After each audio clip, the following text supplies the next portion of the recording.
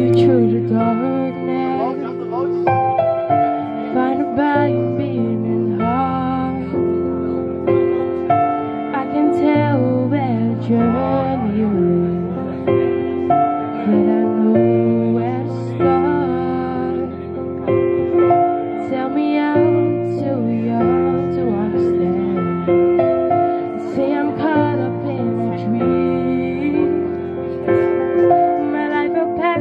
alive.